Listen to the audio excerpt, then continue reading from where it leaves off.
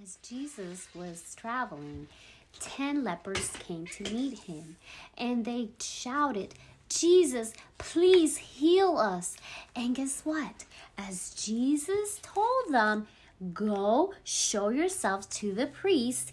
The ten lepers left, and while they were walking away, something amazing happened. They were healed, all ten of them, but only one ran back to say Thank you. Thank you. He threw himself at his feet and said, Thank you for healing me, Jesus. The other ones, they did not come back to thank him. So today, boys and girls, are you thanking Jesus for taking care of you through COVID?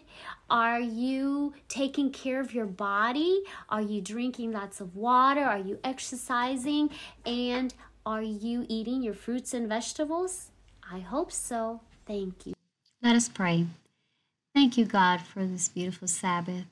We want to take some time today to ask you to please help us to show how thankful we are by taking care of our bodies, first by reading the Bible every day and by eating our vegetables, our fruits, drinking water, and yes, Lord, help us to get some exercise so we can activate our bodies and minds and just also be outside and spend time with you in nature and our family. Thank you, Lord. We ask you special prayer for those that have lost uh, loved ones um, throughout this COVID season, Lord. And again, we are so thankful to you for everything you do. Amen. Thank you, God. Can you say thank you, God? Say thank you, God. Thank you, God. Good job.